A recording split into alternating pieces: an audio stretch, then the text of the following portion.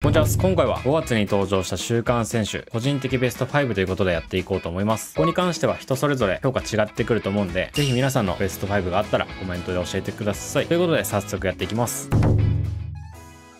第5位は、フォファナということで、B2B の選手で、真ん中どこでもこなせる選手ですね。まあ、能力値見てもらえばわかるんですけど、めっちゃバランスいい。さらにスタミナも90あるんで、試合終盤まで活躍してくれます。特にトップ下の無印器用が使用感いいんで、もし持ってる方は使ってみてください。スキルも優秀なんですよ。ワンパワンシュー、スルーパス、ダブルタッチ。理想すぎん。ここにミドルシュート、コンク持ってるんで、マジで強いよ。能力値以上の使用感があると思うな。身長も大きいですし、自分でボール取って、前線展開もできますし、ドリブルしてシュートも狙えるんで、特に無印起用してあげると、前線にも飛び出してくれるんで、そこがおすすめですね。第4位は、サネですね。プレイスタイル2列目で、両ウィング、左サイド、トップ下で活躍できるスパサブ選手になります。まあ、この時点で 能力値強いんだけど、ここからスパサブ発動するとしたら、こんな感じの能力ですね。スキルがドリブル系のスキル持ってないんですけど、アウトスピンキック持ってるんで、左サイドで起用して、クロスだったり、自分でシュート、アウトスピンで狙ったりっていう形がおすすめですね。ピンポイントクロスは持ってないんですけど、結構浮かしたパス、うまく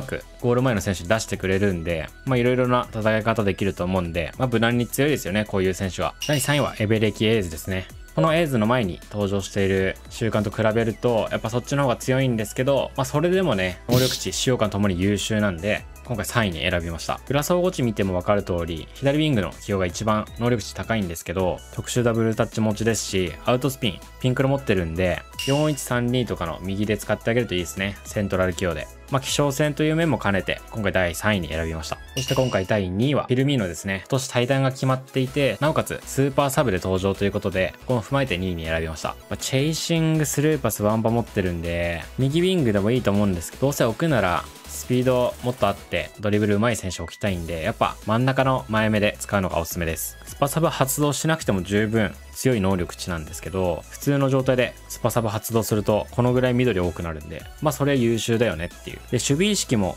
80あって、チェイシング持ちなんで、前で刈り取ってアシストっていう形も作れるんで、本当に優秀ですね。そして今回第1位はギュンドアンです。トップ下はできないんですけど、セントラル起用で裏総合値102と、まあ、ぶっ壊れてますね、本当に。終盤の選手でこれはね、本当に強いんで、今流行りの4141だったり、4123のセパハン型だったりね、中盤でセントラル起用で使うのがおすすめかな。スキルもダブタワンポワンシュー、スルーパス、さらにシュート系のコンカ、アウトスピン持ってるんで、ほんと言うことないよな理想的な中盤の選手ですね。